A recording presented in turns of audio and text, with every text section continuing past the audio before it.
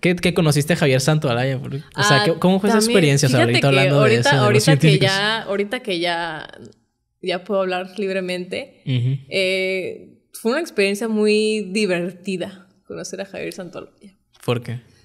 ¿Cómo fue? Primero, o sea, tú estabas eh, en, en parte del, del- ¿Cómo se podría decir? En El la- congreso de gente en la que lo trajo. en la sociedad de alumnos, eh, nosotros nos pusimos, nos- o sea, cuando vimos que Javier iba a venir aquí a, a México, México.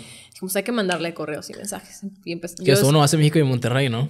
eh, ¿O dónde más fue? O sea, yo supe no, yo supe que primero, primero, vino, primero vino como a, a, una, a poquitas partes y se fue. Pero después volvió y anduvo haciendo un recorrido. O sea, fue por la Feria del Libro y por Ah, muchas ok. partes. Entonces Sí, sí, sí. dije, vamos a aprovechar que viene de tour para pues, pedirle que venga.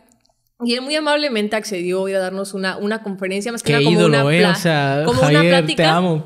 Y no nos Goat. cobró ni un solo peso. Javier no cobró ni un solo, pres- un solo peso por ir con nosotros. Qué ídolo. Y Para quien no conozca a Javier, ¿cómo lo determinaríamos? Javier, Es un científico. para mí Javier, claro que, claro está- que es un estuvo- científico, pero... Estuvo...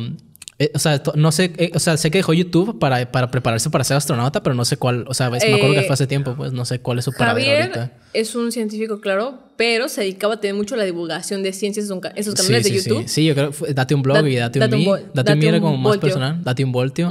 Sí, que, que ahora abrió una aplicación, ¿no? También para no tener que estar bajo las.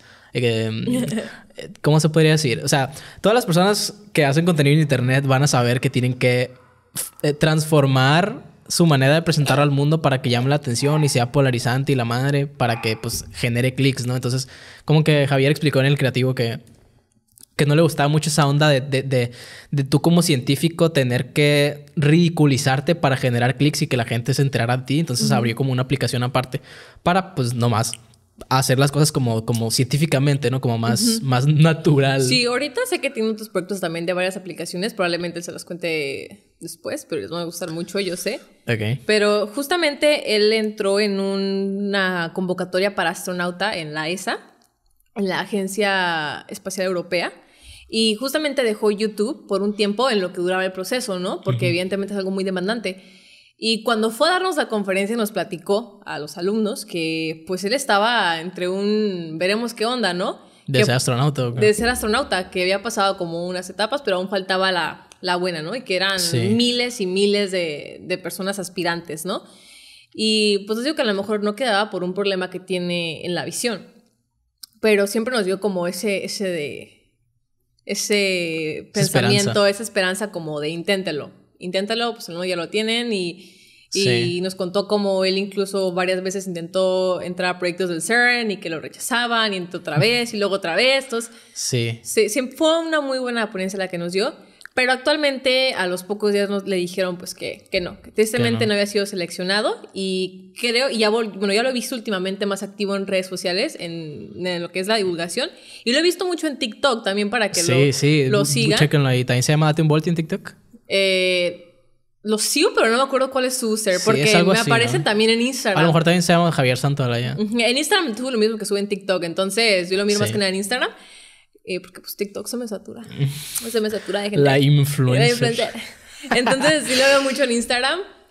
Y sí, fue, muy, fue una muy buena experiencia. De hecho, pasó algo muy, algo muy curioso. ¿Tuvieron, o sea, ¿tuvieron la oportunidad de platicar con él después? O sea, ¿lo Eh, pasearon y todo el rollo? ¿O nomás fue de que la andaba, ponencia? andaba muy apurado porque, pues, como te dije, tenía que ir a otras... Javier eh, Tenía que ir a otras partes del país y así, a, a dar conferencias y todo eso. Sí. Pero sí tuvimos la oportunidad de ir a comer con él. Pero pasó algo muy...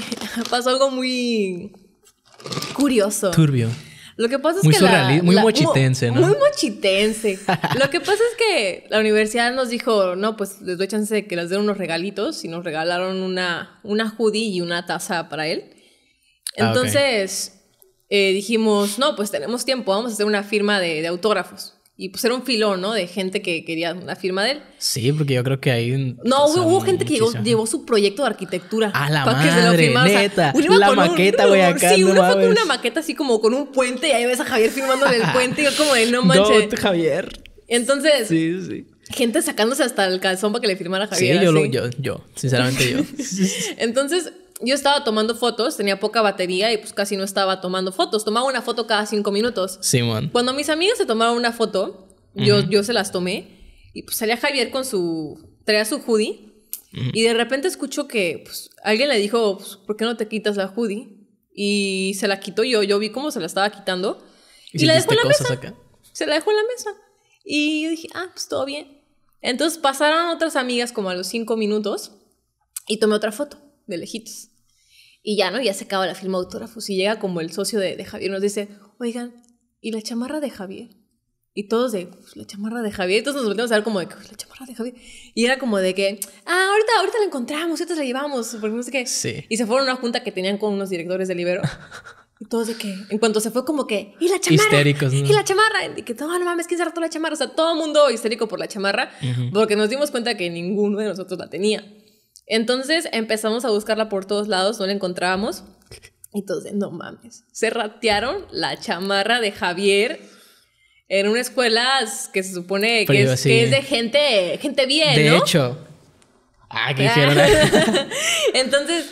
Nah, eh, nadie se la creyó, la neta. entonces yo, me puse en modo, me, me puse en modo de FBI, o sea. Modo serio. La verdad que si fuera la CIA me contrato. De hecho, Ok. están tocando la puerta y vengo. ah.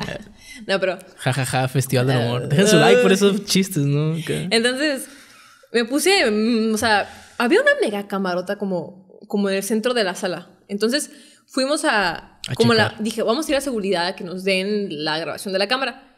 Y llegamos y dijeron como, ah, no, es que esa no es una cámara. Bueno, sí es una cámara, pero no graba. Es para grabar videos en vivo de las conferencias en, en Facebook. Porque pues ahora todo es en línea, ¿no? Entonces, de que no más. No puede ser. Y entonces yo me puse a checar las fotos que tomé. Y en la primera foto que tomé sale la chamarra ahí, en la mesa. Y en la segunda foto, como a los 10 minutos, ya no está la chamarra. Entonces le dije, no, pues fue esta hora, esta hora, ¿no? Entonces comenzaron a checar las, las grabaciones de afuera y a esa hora. Y se mira como una niña y su amiga salían con la chamarra de que en el brazo, así. Entonces no me dejaban tomarle foto a la grabación porque, pues, evidentemente, Era contenido privado. contenido privado, exacto. Y me dijeron Contenido como, pero no te preocupes, vamos a levantar un reporte de que te robó una chamarra. Y yo como, el sujeto está en Eh, junta, va a salir como, en 10 minutos. Me vale verga el reporte. Quiero la chamarra. Exacto, o sea, dije, Javier está en junta, va a salir en 10 minutos de la junta y, y le dijimos que teníamos un hoodie y no le vamos a decir que alguien se robó tu hoodie, o sea, queda a pesar de nosotros. Entonces un amigo desesperado fue y compró una hoodie y fue otra amiga y compró otra hoodie y teníamos dos hoodies de que le íbamos a regalar. Y yo dije, no, pero tenemos que encontrar La suya. la suya. La de Javier. La de Javier. Entonces, eh, realmente yo empecé a pasar la información.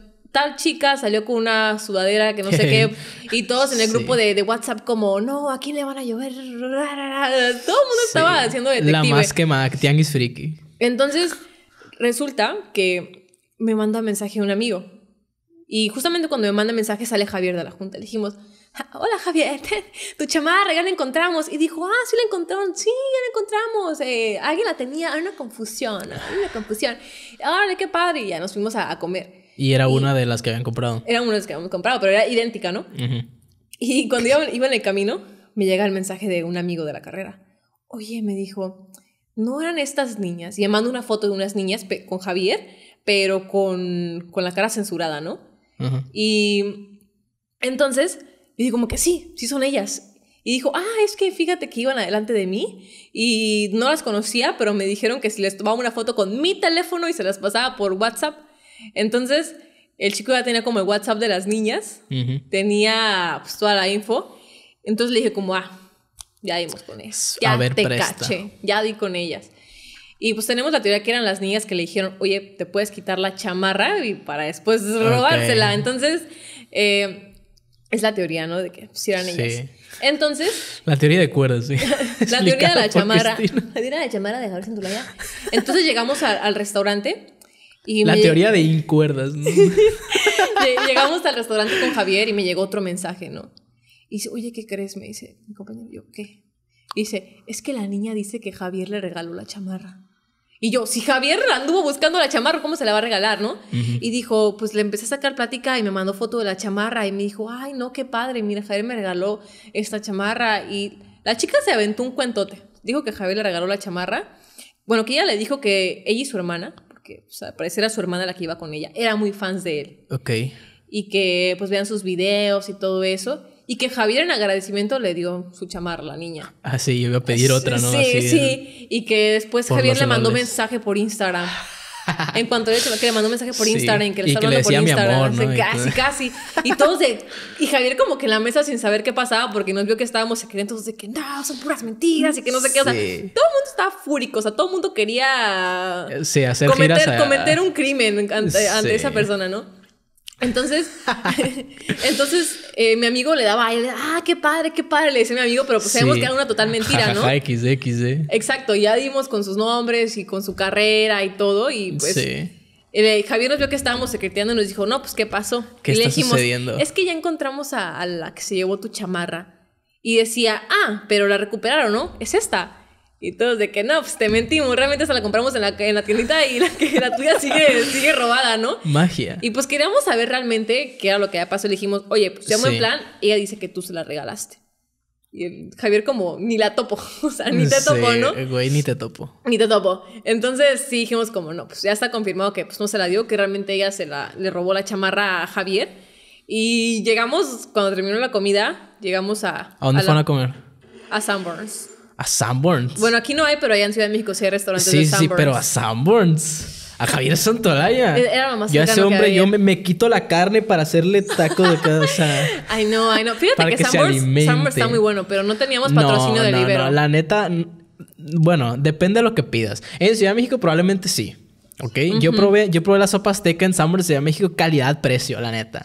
Calidad-precio. Los molletes también están buenos en Sanborn, ¿eh? Los molletes. No los he probado. Pero, pero en, en Chihuahua he ido a Sanborns y nada que ver. No, no, bueno, en CMX Absolutamente nada siempre que me has ver. oído bien la comida de Sanborns. Pero quiero aclarar que no, no teníamos patrocinio de la universidad para la comida Sí. de Javier, entonces éramos estudiantes todos. Sí, sí, sí. Pero le dimos una muy buena plática y un buen tema de conversación. Uno- unos muy buenos molletes. Así es.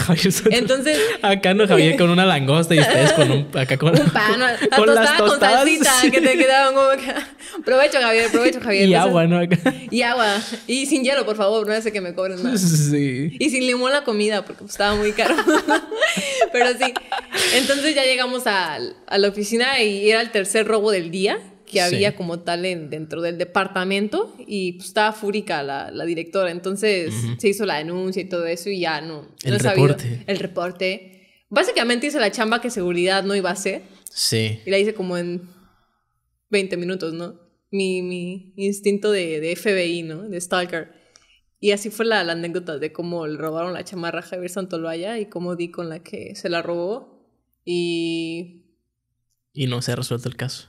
no, ya se levantó la, como tal el, el- la El queja, el reporte. y dijeron pues que obviamente iba a haber una gran sanción porque nos hicieron quedar mal hasta España, literal. Sí, no mames, Literalmente o sea, nos hicieron quedar, nos quemaron hasta España. Es como el papa de esa carrera, güey. yo sí, creo, o sea, no, no, no, o sea, realmente están todos muy indignados porque, pues, ¿cómo le vas a robarle una chamarra a un conferencista, no? Ajá. Y es como, no, no, no. Y ya. O sea, y, y si la regresa, yo creo que va a quedar de que enmarcada en algún lugar. ¿no? sí, muy Va a probablemente. quedar con la historia del robot. sí, va, va a quedar toda la, la, la cronología acá. sí. La crónica. Era a las 7 de la mañana del día, no sé qué. Sí. No, fue, fue muy icónico esa vez, la verdad. Me aplaudo, me aplaudo. Eh, Y fueron a cenar y qué pasó No, después. no, fuimos- fuimos- fue una a comer, comida. a comer. No, él se tenía que ir porque tenía que viajar a otro lugar, entonces fue nada más como comida rápida, Comieron comida y de la carrera y ya se fue. O sea, no Pero- platicaron de qué extra con él. No, sí tuvimos una muy buena plática, eh, pues les contamos un poco de nuestra carrera, tenían preguntas de cómo se manejaba la universidad aquí en México, y pues estuvimos platicando un buen rato.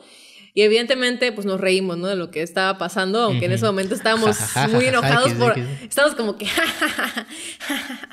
Quiero cometer un crimen de odio. Pero entonces, sí, o sea, fue, fue, muy, fue muy curioso. No sé si quiera volver a, a la Ibero. A la Ibero. por eso. Por esa No, anécdota. Por esa anécdota. Qué extraño, pero- ¿eh? No sé. Qué extraño. O sea, es la clase de cosas que me pasan a mí. Qué la verdad. surrealista, qué muy, muy surrealista. surrealista. Y supongo que la niña no supo de dónde le cayó el, el fregazo, el reporte, ¿no? ¿no? Y ya como de... ah, Triunfé.